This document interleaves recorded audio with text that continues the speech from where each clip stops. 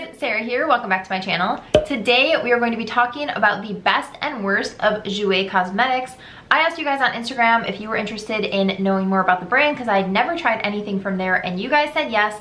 So that's what we're doing today. So if you're interested in that, keep watching. And if you're new here, don't forget to subscribe before you leave so you don't miss any of my future videos. All right, let's get into it. Like I said, I asked you guys on Instagram if you were interested in hearing more about this brand. If you want input on videos that I do, definitely follow me on Instagram. My handle is here, here somewhere. Uh, it's just at Sarah Brithinee but I decided to pick up quite a few items. I picked up the foundation and then it ended up being too light, so I chose a different foundation shade. So I have two different foundation shades. I picked up the bronzer. Again, I picked up the light medium, realized it was too light, so I picked up the medium deep. So I have two of those. I have one of their blush duos. I have a highlighter, an eyeliner, and a lip gloss. So I have lots of products to go through. I'm gonna show you guys a demo of me applying them to my face, sharing the pros, cons, everything I like, everything I didn't like, all the things. So let's start. I'm just gonna go in the order of how I applied them today. Also, I will link everything that I mentioned down below in the bottom bar, as well as everything I'm wearing on my face, everything in general will be down there if you have questions. And I also know that there are products from Jouer that I did not try. This is not a you know, a review on every single product that Jouer has. It's simply on the products that I have personally tried so far. I have my computer pulled up right in front of me so that I can kind of read over the different products. The first item is the foundation. It comes in this metallic gold box. It is called the Essential High Coverage Cream Foundation and it comes in 50 shades. So I have mine in the shades Buff and Pebble. And one thing I will say that I noticed about almost all of these packages is that the boxes are much bigger than they need to be. Like this is the foundation. So this seems like a big box for this foundation. So this is what the actual package looks like. It's this nice frosted glass. This is the shade Pebble and this is Buff. And then the back so I really do like the packaging. I think that it's nice. It comes with 0.68 fluid ounces, which is less than the typical one ounce that most foundations come in. This retails for $38 and it does say shake well and you can kind of hear it. Anyway, it does have a pump, so it is nice packaging. So the first shade I picked up is Buff. This one says that it is a light skin with neutral olive undertones. And this one is just so light. So then I ended up picking up the shade Pebble. I just wiped that off of my skin. I probably should have kept it so I could um, compare them for you. So this one is Buff, and then I picked up Pebble, and Pebble says that it is, let's see, Pebble says light to medium skin with neutral undertones. Okay, so this is Buff, and this is Pebble. Pebble obviously is a bit darker than uh, Buff is, but it still was pretty light. I was surprised because it says that it's a light medium shade. So these ended up being lighter than I expected them to be. I put Pebble on my skin today, which you will see in the demo, and I think it ended up working out. It was a little bit light, and I, I have a tiny tan, not a lot at all. So I do think I could have gone with a little bit of a deeper shade, not by much, but on the Jouer website, this, the Pebble shade is under the medium category. They have fair light, medium tan, dark, and deep. So those are the six categories. So this is in the third category called medium. I don't think that I fall under like the third category, but that's where we're at. So I'm gonna hop into the demo of me applying it and kind of share with you guys as I apply it what it says online. So this says Supreme Coverage Lightweight and Long Wearing Essential High Coverage Cream Foundation creates an impeccable airbrushed matte finish instantly. Simply smooth a small amount of the concentrated formula onto the skin with Jouer's Essential Precision Foundation Brush and Buff to reveal your perfect complexion. So it is oil-free, matte, it has hyaluronic acid in it, cucumber extract, all of those things.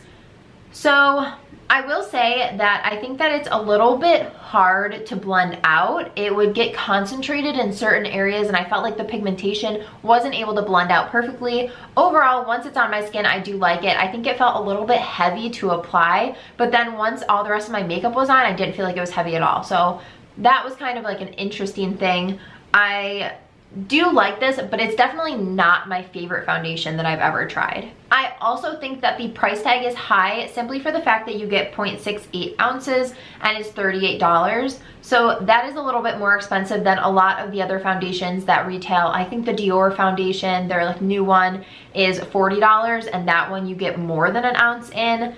And I'm trying to think of what other foundations I have tried recently I mean, even the one, the IT Cosmetics um, Matte CC Cream, this has 1.08 ounces and this one is $38. So that's a comparable price, but you get much more product in this one.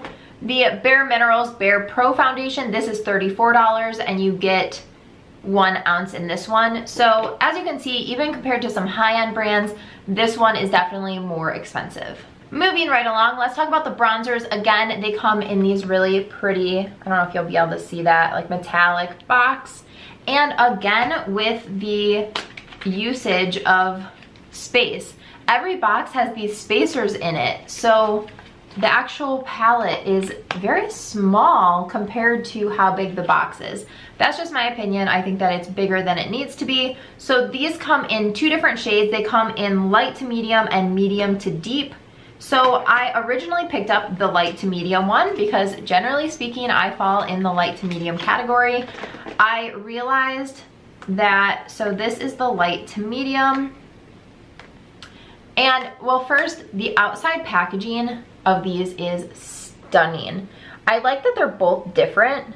I think that they're cool. It's the pink and gold, and then on the back, it has the shades on there. So I think the packaging is really nice. Each of them come with a nice sized mirror in here and it does clasp shut. So I think the packaging on every single thing of these is stunning. The part that I don't like is the extra cardboard packaging. This is bigger than it needs to be on almost every single one, but the actual inside packaging of these is just so pretty. So I originally bought the light to medium, which that one has Sunlight and Suntan. And these are what the shades look like. I'm going to swatch them for you too, just so that you can get kind of an idea. And then this one, I ended up trying this one out and it just didn't, I felt like I wasn't getting a bronzy look. And then I compared these shades to different bronzers that I have and they were much lighter than most of the bronzers I have. Like this shade does not look like it would be a bronzer at least for my skin tone. If somebody's much more fair than I am, absolutely this would work. But I was surprised that I would fall under the medium to deep category. So this one includes um, Sun Kissed and Sunset. And these ones, I was worried because they looked a little bit deeper, especially comparatively. So this is what they look like. The medium to deep is on the top. And I'm just gonna do a little swatch for you guys so that you can see what they look like next to each other. So like I said, these are the two shades that these palettes come in. Each of them have two shades in them and they retail for $30. I'm going to show you guys the demo of me applying it as I read the description that it has on the website. So it says a duo of velvety complementary bronzers that promote a healthy glowing complexion, brush bronzer across cheeks toward temples, across forehead, and lightly over chin for a sun-kissed glow. These say that they are long wearing, paraben free, have vitamin E, and they're dermatologist tested. I tried the light to medium one, I think like three different times, trying only the dark shade, trying to mix them, trying to make something work, and this light to medium one just did not work out for me.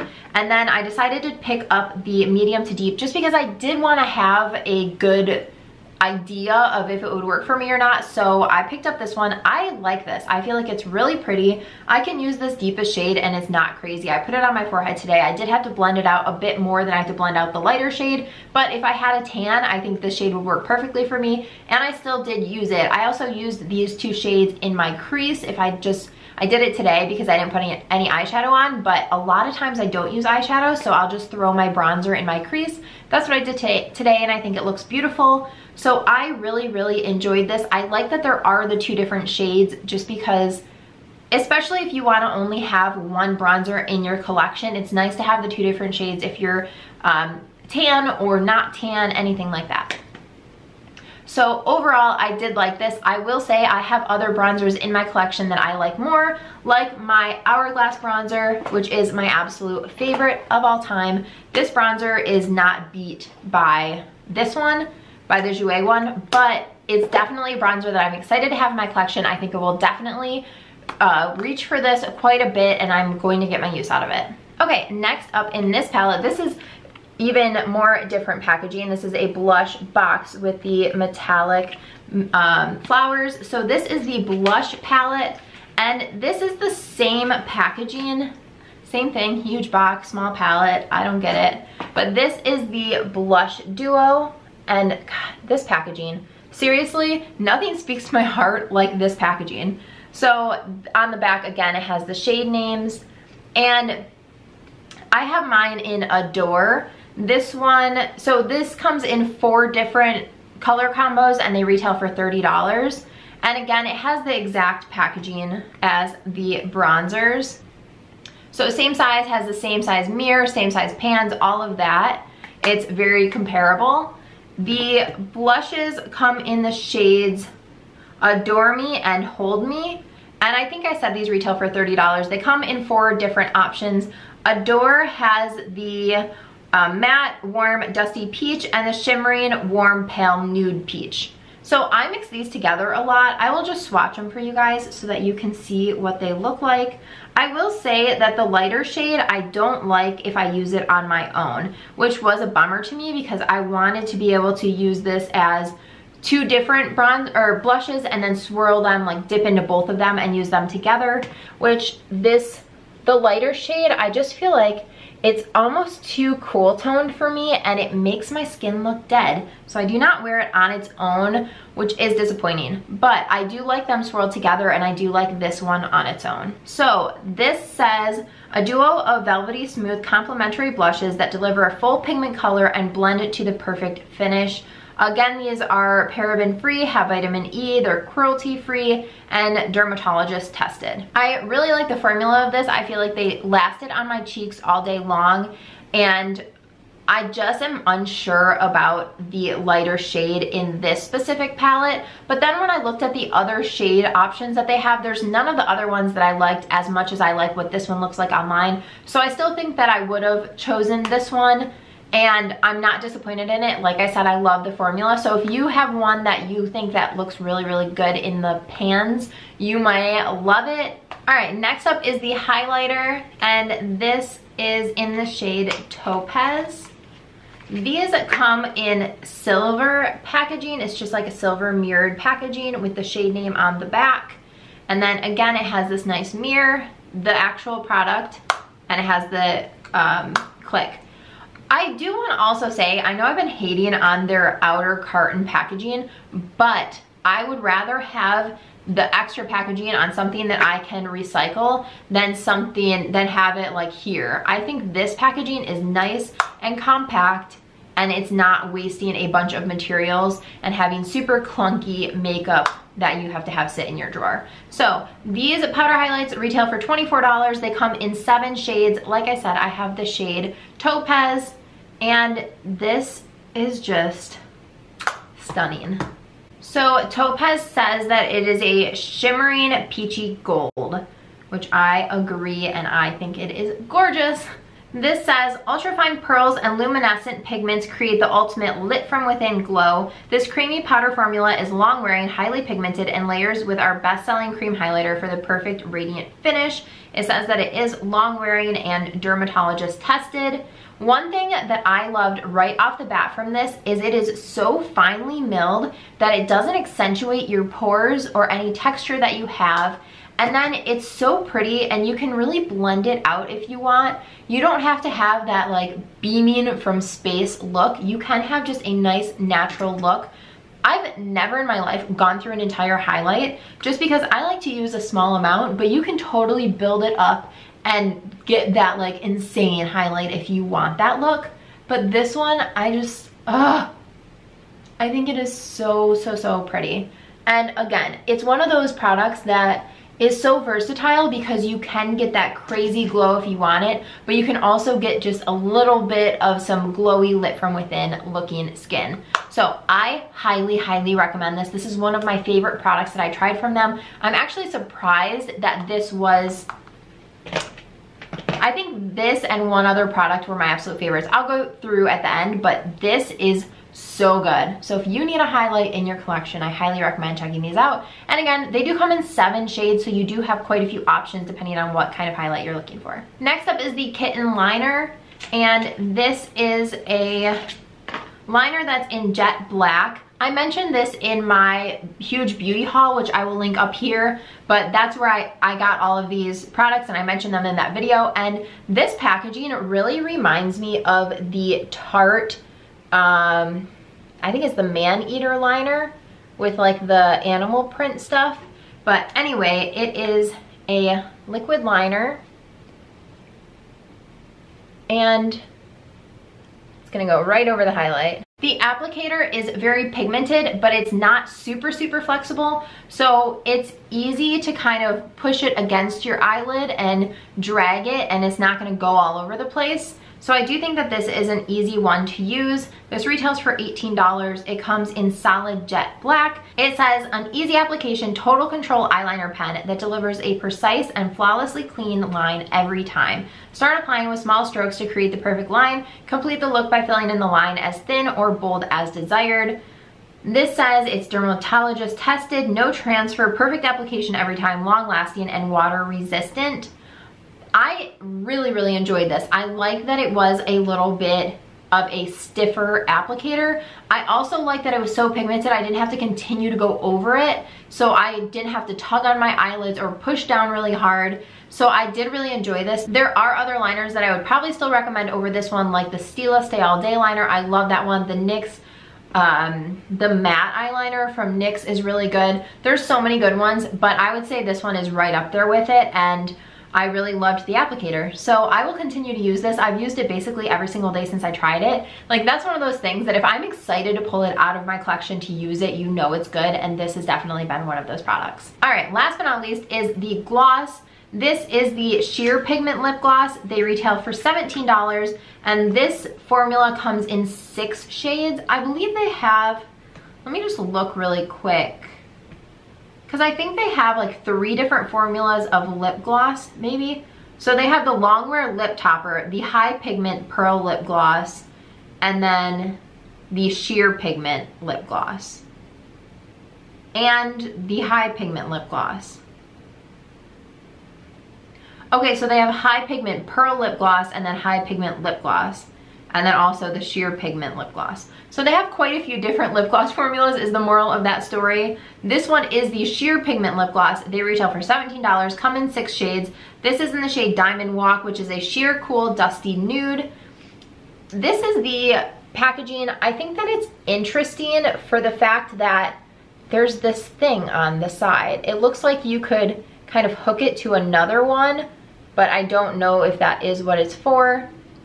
And then you open it up and it has this doe foot applicator. This is smaller as an applicator than most of the other lip glosses that I have, like the actual part that you hold on to is, but the shade is really, really pretty, I think. And I don't think that the applicator pulls up too much product, so you're not wasting a ton. But it's super, super glossy, shiny, pigmented, but not too pigmented that you're worried about it getting everywhere.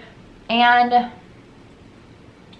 it smells like sugar. So it says this lightweight non-sticky gloss glides on smoothly, delivers a sheer wash of color and moisturizes the lips with jojoba, seed oil, and coconut oil. It says it's lightweight, warm and cool shades and non-sticky. So I do agree with that. I don't think it's sticky at all. I think it looks absolutely beautiful over every single thing that I've tried it over so far. Today I'm wearing it over my Buxom Plump Liner and this combo has been on major repeat. I actually just mentioned this combo on my Instagram a few days ago. I love this. I would say that this gloss and the highlight are my two favorite products that I tried from this line. So if you're in the market for a lip gloss, I highly recommend this one. These are $17. I can't remember if I mentioned it or not. Okay, I feel like I have been talking for eternity. I'm just gonna go through really quick each product that I mentioned, say if I recommend it or not, and then we're done. So the a foundation, I would say just pass on this. It's expensive and I think that it was a little bit harder to blend than some other ones that I have. The finish is fine, it's very high coverage, but for me, I think there's better ones on the market. The bronzer duos, I really like these. I'm glad that I picked up the medium to deep. I will definitely get my use out of it. The light to medium was far too light and I just didn't want to add a bunch of product to my skin. So I would say depending on your skin tone, don't be scared of getting the medium to deep one just because it is going to be easier and you're gonna use less product. The blush formula I love. I think it's beautiful. It blends out nicely and it's not so pigmented that you have to be really worried about dipping your brush in and looking like a clown. It is super user friendly. I love the packaging. I think you get a great amount of product for the price. Highly recommend this if you can find shades that you like. The highlighter I 100% recommend. I think this is absolutely gorgeous. It comes in some really beautiful shades and I love that it's a versatile product that you can do just something subtle or something insanely intense. The kitten liner, love this. I will continue to use this. I think there are other options that are just as good from the drugstore like the NYX matte liner, but if you want to try out a high-end liner, I really like this. And I do like the stiff applicator. I think it's a lot easier to apply if you're a beginner. And then lastly, the gloss, just get it. I mean, there's really nothing else to say about it. It is gorgeous. I like that it's not so pigmented that you're worried about it bleeding and looking really nasty. It's just beautiful and once I figure out what this little thing is for, I'm sure I will have more Jouer lip glosses in my future, like all hooked together, whatever they do. Um, but yeah, this is stunning. Alrighty guys, those are my thoughts on all of the products that I tried from Jouer. Let me know down below in the comments, have you tried anything from Jouer? Is there something you want to try out? What's your favorite? What's your least favorite? Let me know all the things down below in the comments. Give this video a thumbs up if you enjoyed and don't forget to subscribe before you leave so you don't miss any of my future videos. Thanks so much for watching. Bye guys.